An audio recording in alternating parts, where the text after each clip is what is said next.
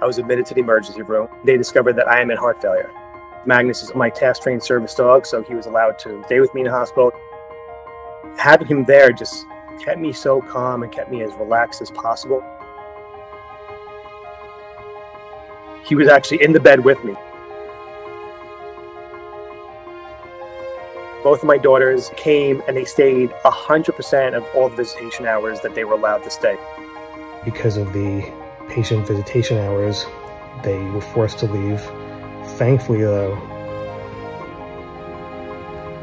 I have this guy to stay with me in the hospital the entire time. I'm lucky to have this boy. I really am.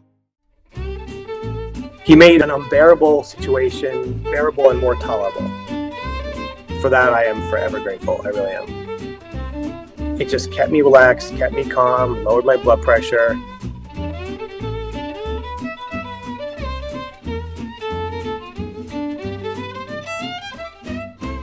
We were in the hospital for three days, but it felt like a lifetime.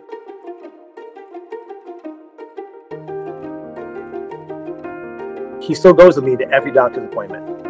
I'm covering every base possible because I have two young daughters I need to make sure that I'm around for them as long as humanly possible. We originally adopted him just to be a family pet. My daughter's very severe juvenile arthritis. Just the anxiety and the stress it would cause her. When we adopted Magnus, he would lie right next to her and just calm her down.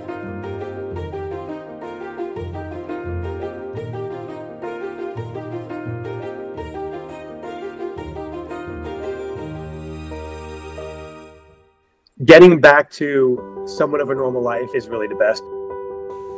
He still provides that therapy that I definitely need.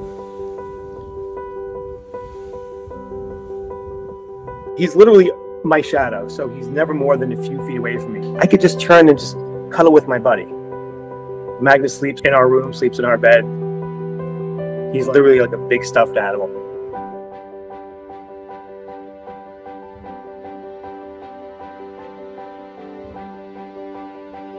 I have a gym in my house, so we work out together. It brings me so much joy just to watch him just be a dog, not be a service dog, but just just be. I always say life is better with a dog. Magnus exemplifies that every day.